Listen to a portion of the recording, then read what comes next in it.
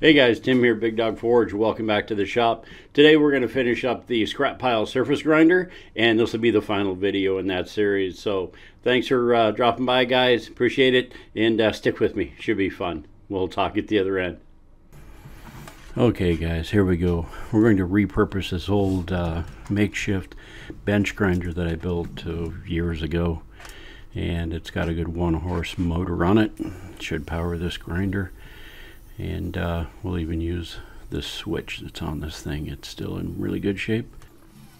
I am a little bit iffy about using pillow block bearings for the main shaft to support this constant contact wheel but we're going to give it a shot. These are in pretty good shape and uh, it's got a one inch stainless steel shaft and that's what the wheel was made for. So the framework at least will get us a couple of steps ahead and I have a backup plan in case those pillow block bearings just don't work out. All right, so we're just sort of eyeballing the center here. We'll put a tape measure on that. We want to get that contact wheel in the center of the uh, slide for the magnet. It's an 18 inch magnet. We've got a 36 inch slide, so we put the constant contact wheel in the middle. We should get most of the use out of that magnet and these are going to be our stands to get that thing up in the air. Now rather than stand it up straight, I wanted it uh, laying horizontal. I wanted it up high enough to get that wheel over the top because we've got some more equipment to mount to the back side of this thing.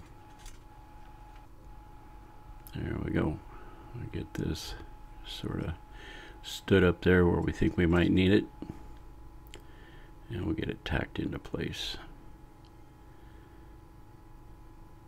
Get our wheel about center of that magnet. We got a four inch wide wheel and a six inch wide magnet, so and that wheel can be pushed side to side a little bit on that shaft. So we've got plenty of wiggle room.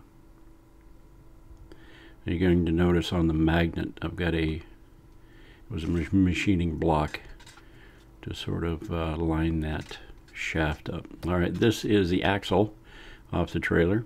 This is one of the hubs, obviously, and the wheel bearings inside. They're just a tapered wheel bearing and a race. And what we're going to do is we're going to cut the end off this axle and we're going to use these parts as our idler pulley and tracking belt tracking device you know, up in that area somewhere. So we're going to knock the bearing races out of this. And these races are in pretty rough shape. So went ahead and ordered some bearing races from Amazon. And we cut off a section of that axle. And we're going to split it open a little bit to make it a little wider. And we have some two inch pipe that's going to fit those bearing races perfectly. And this is going to be the stop in our hub for those races to ride up against. And we're just going to get that centered just about right so we can use the dust cap off the end of this. And we've got our spacer in there to keep these bearings at a proper distance from either end of this hub that we're building. And we got a little hole in there and we're going to just spot weld that so the centerpiece stays in place. And of course our belt's going to ride on this thing so we'll make sure it's nice and clean and round. Alright, we're getting this bearing number off here so we can order some new ones from Amazon. They came in about a day and uh, we just used the old ones to move forward so we could keep building until they got here. We replaced them. So there's some brand new bearings in this thing. There's a way you can support Big Dog Forge by using the Amazon link on the front page of the YouTube channel. It costs you absolutely nothing, but I get a small commission from every purchase, no matter what you purchase off Amazon. So if you want to check that out, there, that's there for you. Okay, so we're going to set this aside and we're going to start working on our tension arm. Here it is. Okay, we needed to poke a hole in that piece of steel. So these two pillow block bearings are going to support another one inch stainless steel shaft. I just didn't have a one inch drill, so I had to poke a hole real quick. And we're going to offset that wheel towards the back to take up a little more of that slack and these are going to be the tracking parts for tracking the belt back and forth. So we're going to pretty much um, replicate what I had built on the 2x72 belt grinder as a tracking mechanism. They seem to be pretty stable and work really well. So for these holes I had drill bits the right size and I didn't have any fingers small enough to just poke the holes so this is going to take a little longer if you don't mind. Alrighty. There we go. And we have to cut this uh, piece of tubing a long way.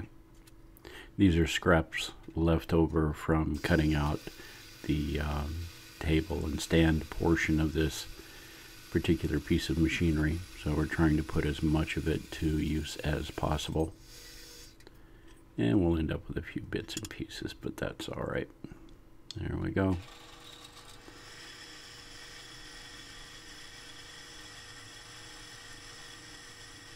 And this is the hole that's going to be for the bolt, which will actually actuate the tracking pivot. There we go. And we'll get this guy welded together. It's a fairly small MIG welder. Um, I've had real good luck with it welding fairly heavy stuff like this in the past. If you get a good chamfer on that metal so you can get a good root pass and then uh, either stitch it like I'm doing here or uh, multiple passes as you weld material heats up and it flows a lot better but I've had this little machine since 1995 I believe. Little Hobart Handler 120 and it's just phenomenal. It just takes a beating and keeps going. All right. That guy cooled off.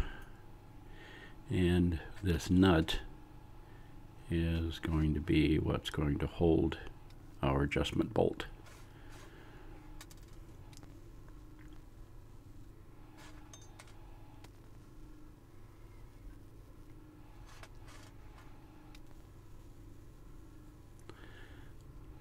Alrighty.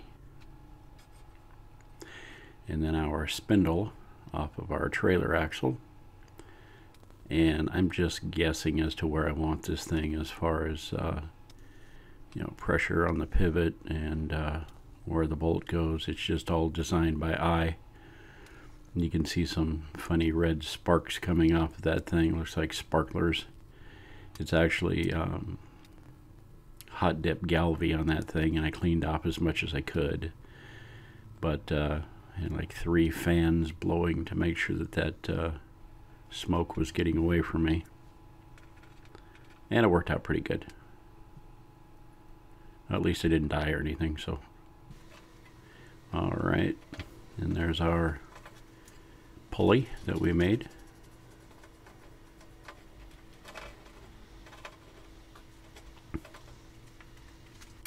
So it's really a hub on a spindle with those bearings, but it's a uh, sort of an idler pulley for a belt at this point. And it's all semantics. There we go. And there's our dust cap. So on the back side of that, we'll be taking care of the uh, bearing on the back side here shortly because we don't want any dust getting in there either. And I'll show you how we're going to do that here in a few minutes. All right, so I need my wrench. There we go. And uh, we'll get this thing tightened up on here good and tight. Now we do have a little bit of play and a little bit of slop back and forth in that hinged mechanism there, so we'll have to compensate with for that on the machine under the bearings to align everything, but we've built plenty of uh, wiggle room into this machine to make sure things are working. And you're going to notice that I have that motor sort of mounted and it's a little crooked. It's just a temporary mount because I'm not convinced that those uh, pillow block bearings are going to handle that constant contact wheel very well. So we're kind of keeping things a little bit loose to begin with. And we're going to get our tension spring on the bottom of that pivot arm. All right, let's get a belt on this thing. See what she looks like. All right, there's our tension arm with our axle hub. And it looks good, and it seems to work really well. The uh, riser for the magnet works really well. And there's enough tension on the spring for the belt. But you can see the vibration in that belt. And this thing is just making a horrific growling noise and it's all coming from those pillow block bearings so all right the first thing we're going to do is we're going to take a little surgical tape and we're going to run it around the center of this tracking wheel what that'll do is raise the center of it and it'll act a little bit like it's uh, sort of tapered off on both sides it's a trick we used to use in the um, lumber industry on the conveyor belts to get them to run in the center. And that's going to sort out that tracking. We'll go ahead and uh, do a little bit more permanent solution later on, but uh, to get us through this. All right, we're going to get rid of these pillow block bearings. We've got our other wheel, and we've taken the bearings out of it. We've got another piece of pipe. We're going to put another separator in there to keep those bearings apart. We're going to press these into place and uh, we're going to use this new stainless steel shaft we've got. So I split that down the center. This is another piece of that axle. And I was driving it apart to make it a little bigger because it doesn't fit quite snugly enough. Fits good and snug now. Another hole. Weld it in place once we get it centered up and took it over to the lathe and cleaned up the end of those stops. And we'll get our new races in there. And again, ordered brand new races and bearings from uh, Amazon. And they were here next day. All right. And this is our new axle. And this is what we're going to mount our all right, so the axle clamped down to these two blocks, the magnets holding them at a 90 degree angle, and it's clamped all down to the magnet. So that shaft is going to be absolutely square with the magnet in all directions. And we've got a couple of pieces of quarter inch by one that we've mounted on the framework and we're just going to tack this in place Alright, we'll get this all pulled off of here so that we can do some full welds on it and I can take the bearings out so they don't take any damage while I'm doing those full welds.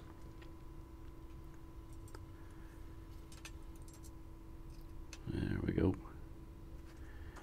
We got the welds done. The magic of YouTube. And we'll get this thing mounted back on there real quick.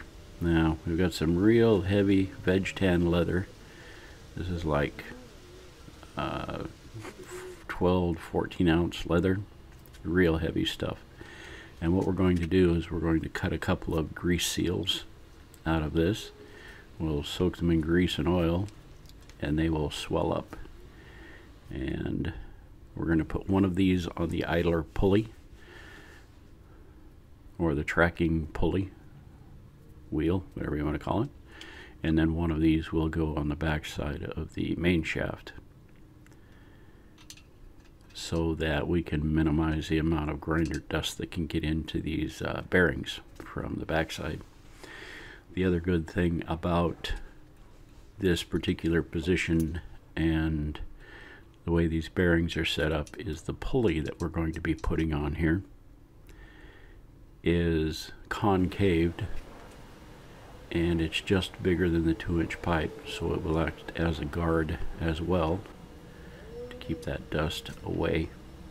A little like a slinger plate for a bearing. I used to use in machinery years ago plate would spin around and throw things away from bearings and bushings.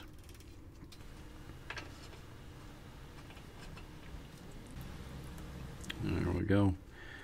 Get those guys tightened down on there. All right, so this is some really heavy canvas. It used to be a, a uh, welding blanket, and I've sewn it into these um, guards to cover up the tracks so we can get the grinding dust off of our bearings, wheels, and tracks so we don't wear anything out. This stuff's very abrasive, obviously, and we don't want to allow it to eat things up too quickly.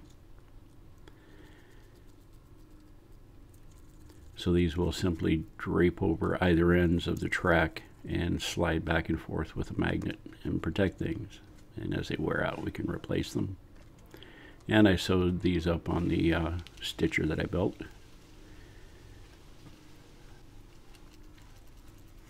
And at the other end of these things, I sewed a uh, little pocket in them so that we can put some weight on the ends of them to keep them pulling in the right direction. There we go. All right. This is our switch off of our bench grinder, our makeshift bench grinder we built.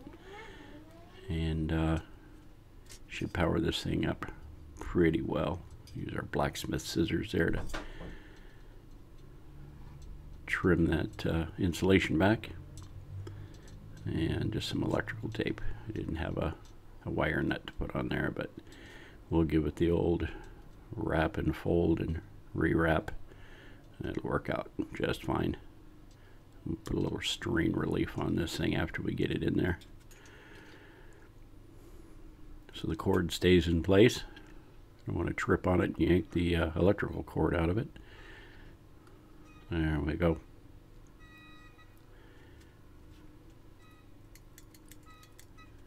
Excellent. All right. So Last thing we have to do here, before we can try this thing out, is put a handle on it. You got to be able to pull the magnet back and forth.